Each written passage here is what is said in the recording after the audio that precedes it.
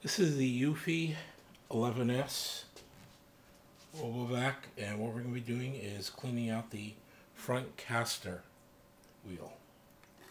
Now, I'm not going to lie to you, I did not figure this out by myself. I called their customer support and they kind of talked me through it.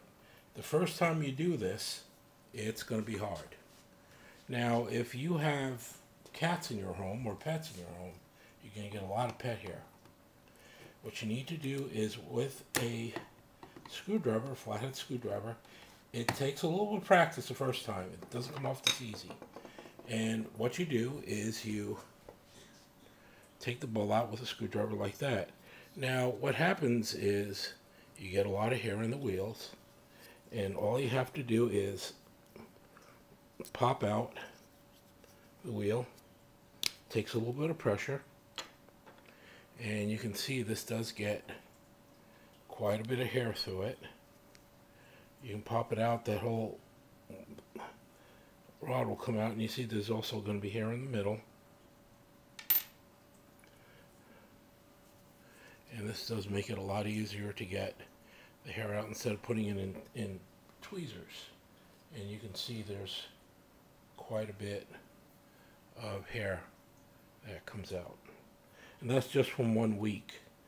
Uh, when I did it the first two months, uh, the areas inside the bowl were actually completely covered with hair. So if that little spacer comes off, little spacer right here, real easy, you can just put that back on.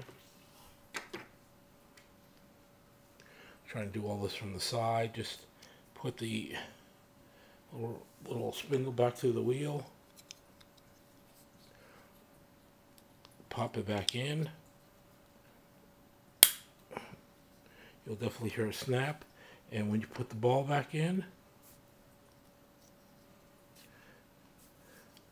when you put the ball back in, it'll go in as needed. You could also buy replacement front casters online at Amazon. And that's how easy it is. I hope this helped.